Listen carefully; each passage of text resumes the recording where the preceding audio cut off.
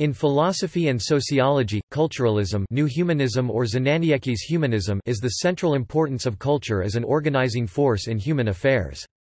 It was originally coined by the Polish-American philosopher and sociologist Florian Znaniecki in his book Cultural Reality 1919 in English and later translated into Polish as kulturalizm. Znaniecki had introduced a similar concept in earlier Polish-language publications which he described as humanism humanism.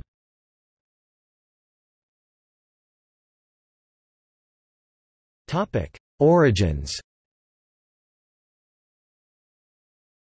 Znaniecki's culturalism was based on philosophies and theories of Matthew Arnold culture and anarchy, Friedrich Nietzsche voluntarism, Henri Bergson creative evolutionism, Wilhelm Dilthey philosophy of life, William James, John Dewey pragmatism and Ferdinand C. Schiller humanism. Znaniecki was critical of a number of then prevalent philosophical viewpoints, intellectualism, idealism realism naturalism and rationalism.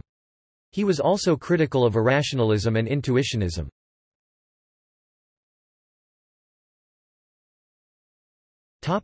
Characteristics In response to these criticisms, Z. Znaniecki proposed a new theoretical framework. His culturalism was an ontological and epistemological approach aiming to eliminate dualisms such as the belief that nature and culture are opposite realities. This approach allowed him to define social phenomena in cultural terms Znaniecki was arguing for the importance of culture, noting that our culture shapes our view of the world and our thinking. Znaniecki notes that while the world is composed of physical artifacts, we are not really capable of studying the physical world other than through the lenses of culture. Among the fundamental aspects of the philosophy of culturalism are two categories value and action. Elżbieta Hałas, who calls it an antithesis to the intellectual dogmas of naturalism, identifies the following assumptions. The subject-object dualism must be overcome and thought should be united with reality. Reality is not an absolute order but changes in a creative evolution. All images of the world are relative. It is false to oppose nature and culture or to subordinate culture to nature.